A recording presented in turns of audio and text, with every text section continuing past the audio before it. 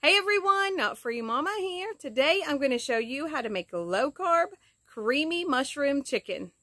Okay, let's start off with our ingredients. First, you need one and a half pounds of the uncooked, thin sliced, boneless, skinless chicken breast, a teaspoon of garlic powder, a teaspoon of Italian seasoning, salt and pepper to taste, two tablespoons of unsalted butter, a tablespoon of some kind of oil. I'm using avocado oil 8 ounces of baby bella mushrooms, a fourth a cup of onion thinly sliced into little pieces, 2 teaspoons of the minced garlic, the fresh, one and a half cups of heavy cream or light cream or half and half, and then a fourth a cup of the Parmesan cheese, not the grated. You want the cheese kind.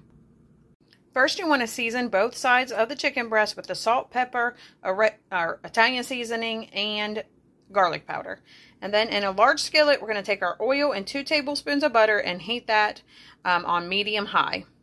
That looks great. So we're going to add the chicken breast and cook it five to six minutes on each side. My chicken is cooking. I've already cooked it five minutes on one side. Now I flipped it and I'm cooking it for six minutes on the other side. I removed my chicken from the pan and just put it on a clean plate. And now to the pan, I just added the mushrooms and onion. And we're just going to saute that in that same oil and butter for about two to three minutes or until they're soft. That looks great. So now I added my two teaspoons of the fresh minced garlic and we're just going to cook that about another minute or so or until it's very fragrant. I reduced the heat to low and added in my one and a half cups of heavy cream and my fourth a cup of fresh Parmesan cheese.